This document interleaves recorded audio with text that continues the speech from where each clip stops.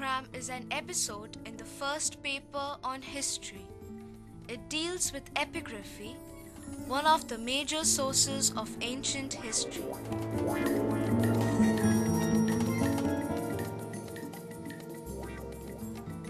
Human beings, no matter where they lived, have left their marks in various ways on cave walls, rocks, and probably on other materials as well, but they have not survived the forces of nature. The earliest of the efforts of human communication that have survived are these pictures. Animals, hunting scenes, and merely the imprint of the hand, perhaps to say that he or she lived here. These pictures were simplified from here to here, and in the process they became what is now known as pictograms. Pictograms are abstractions of pictures. They can express more when combined with other pictograms. Thus, for example, a person walking with the sun on the left and then again with the sun on the right would mean that she has walked for a long time. Instead of the sun, if we put the moon, it can mean that she walked day and night. Now that concept can be expressed like this this and this. When pictograms are further simplified or made into abstract forms, they become what is known as cuneiforms. This was developed in the Sumerian culture about 3400 years before Christ.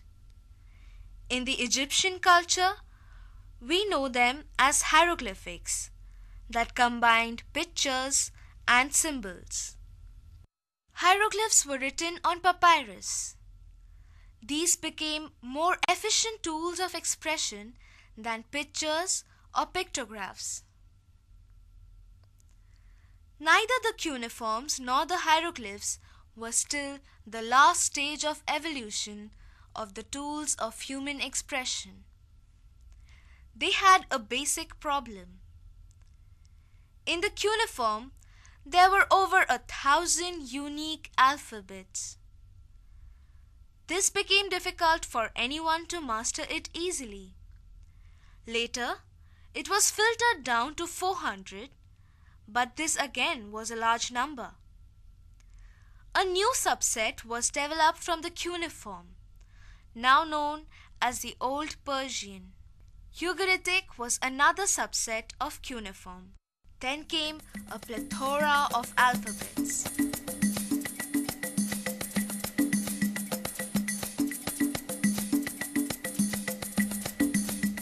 Then people started writing on stones,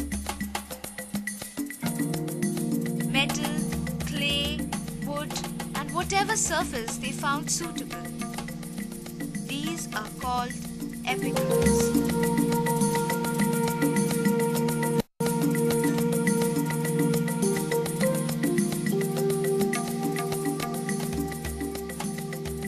Epigraphy is the discipline that deals in epigraphs. In this program, we shall deal with Indian epigraphy. Epigraphs or inscriptions denote any writing engraved on some object. In India, we find inscriptions on a variety of media clay, rock, metal, wood, palm leaves, and so on. They are found on pillars, seals, coins, walls, statue pedestals, and so on. Depending on the media used, inscriptions are found all over India. These pillars from Bharhut contain a number of inscriptions.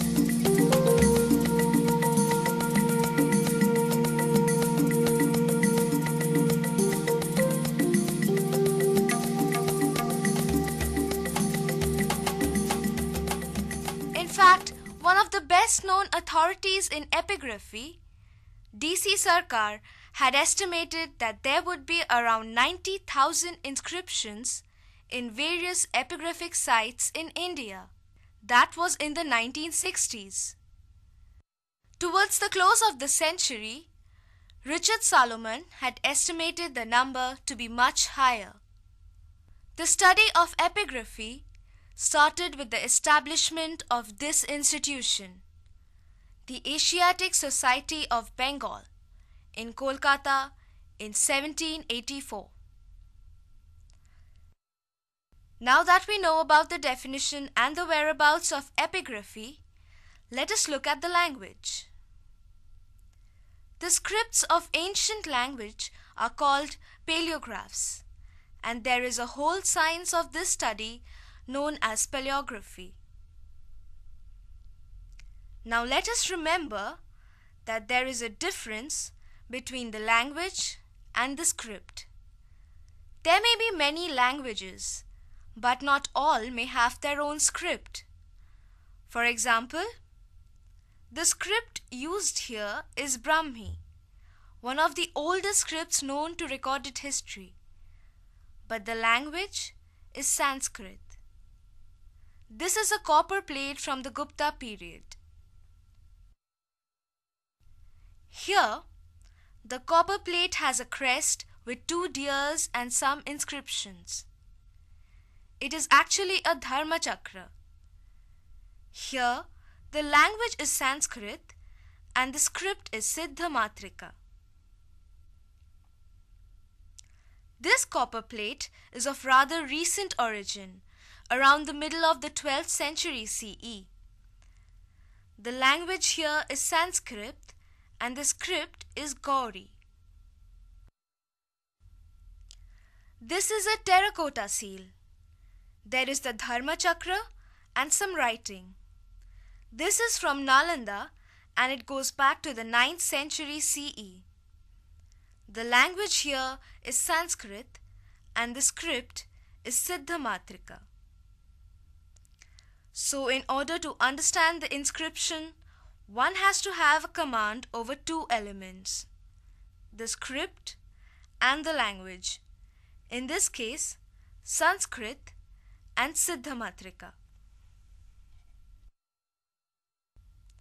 James Prinsep was assistant assay master of the Calcutta Mint and a close associate of Sir William Jones. Jones was responsible for the setting up of the Asiatic Society. Prinsep made the breakthrough in deciphering an Ashokan edict in 1837. The edict was written in Brahmi script. But decoding the script is one thing and understanding the content was quite another task. The word Devanampiya did not make sense in Sanskrit. It was a local modification. It took another scholar, George Turnour, who had known Pali, to affirm that Devanampiya meant beloved of the gods and it referred to Ashoka himself. Brahmi script appeared in India by about the 5th 4th century BC. A close examination of the script reveals striking similarities between Brahmi and Semitic languages such as Aramaic. It is well known that Aramaic is written from right to left, and some scholars believe that Brahmi was also initially written in both directions, right to left and left to right. This is called Boustrophedon type of writing. They think that only at a late date Brahmi came to be written exclusively from left to right. However, the controversy over the direction of writing in Brahmi is still current. We have to wait for the final answer to come. The theory that Brahmi may have originated from the Indus script is difficult to maintain, because there seems to be a huge gap of about 2500 years between the two. Indus scripts go back to 2900 BC and Brahmi goes back to only 300 BC, even if we take the earliest examples of the Ashokan edicts. However, it is equally interesting to see that both Brahmi and the Harappan scripts share certain systemic qualities that are striking, as DC Sarkar and A.H. Dani have noted. The decipherment of Brahmi was followed almost immediately by the decipherment of another script, Kharoshthi. This time, James Prinsep and another scholar named C. L. Grotefend shared the credit equally, although they worked separately. Kharoshthi is written from right to left. There is a great deal of discussion on the origin of Kharoshthi script. Some say that it is the work of a single inventor.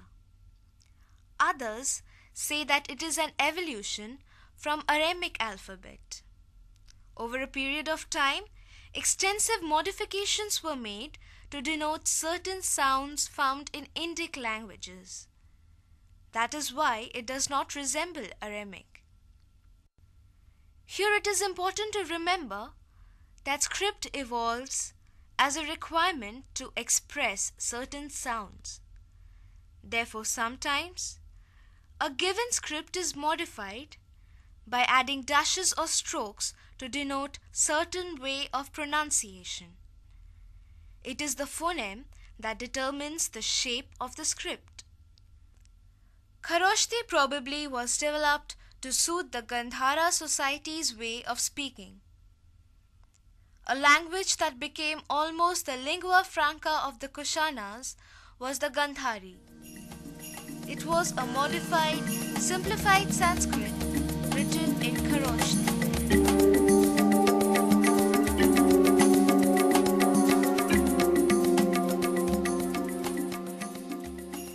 Evolution and development of language and script are interesting and challenging topics. Both Brahmi and Kharoshthi seem to have emerged around the 5th 4th century BC. From there, both developed. Most of Ashoka's edicts are written in Prakrit language using Brahmi script. Slowly, an epigraphical hybrid Sanskrit evolved. This eventually gave way to Sanskrit. This group of languages with their local variations is called MIA or Middle Indo-Aryan languages. On the side of the script, Brahmi seems to have given way to Nagari and all the other later Indian scripts.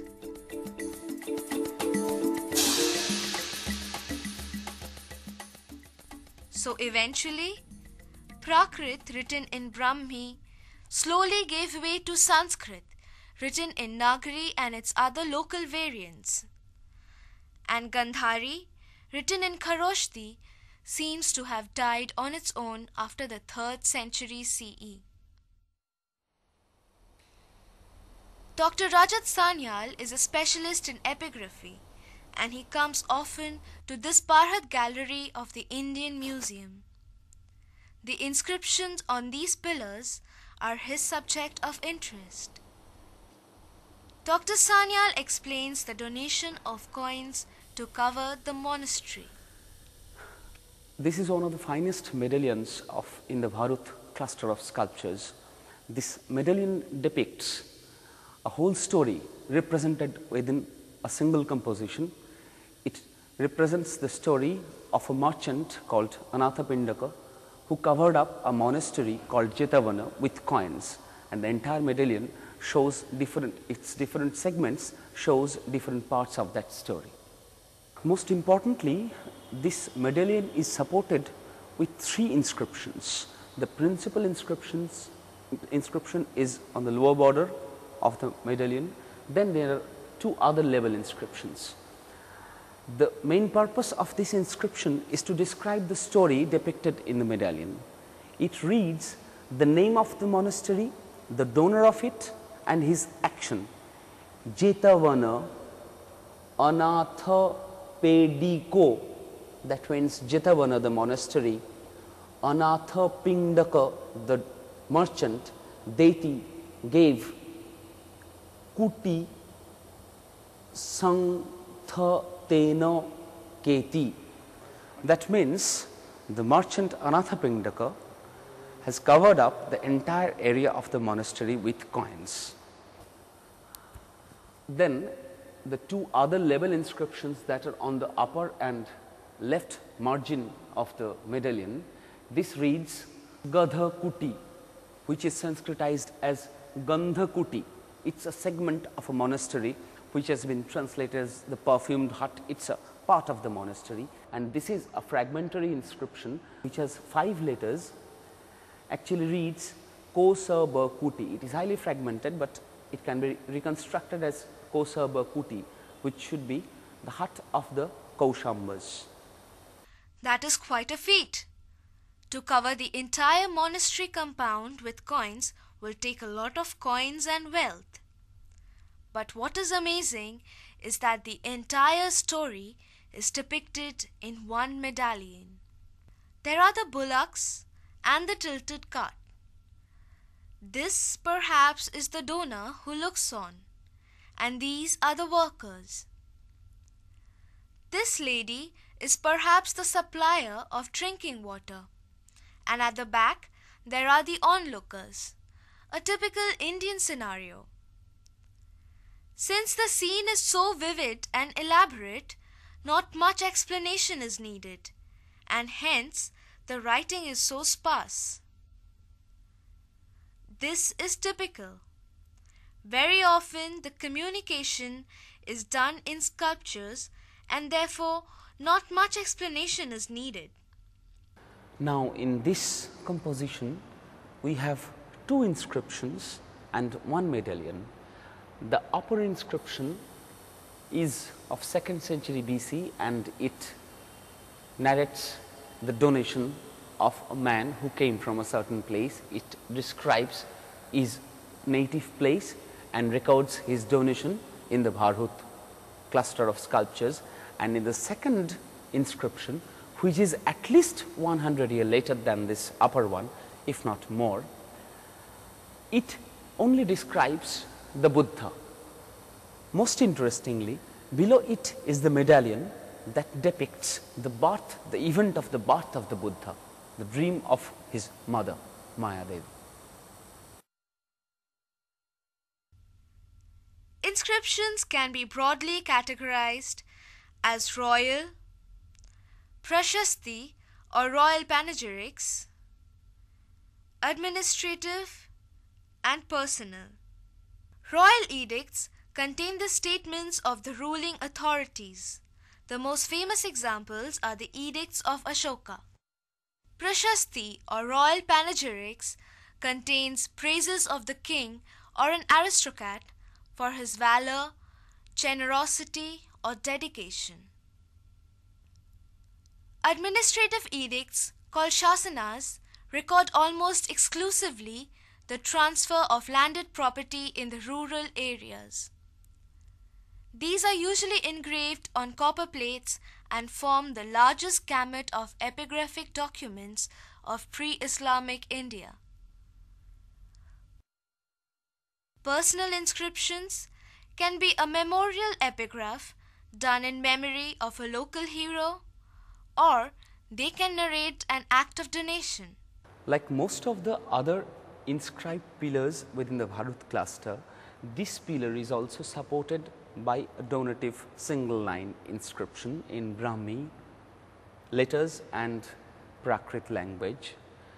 The inscription actually reads Vedisa Chapa Devaya Revati Mita Bharayaya Patama Thabhe Danam. It means a man and his wife along with their friend donated this first pillar on this pedestal. Epigraphs are mute witnesses of the past, holding numerous surprises for the one who has the audacity and the patience to unearth their secrets. A number of good books and periodicals are available on this subject.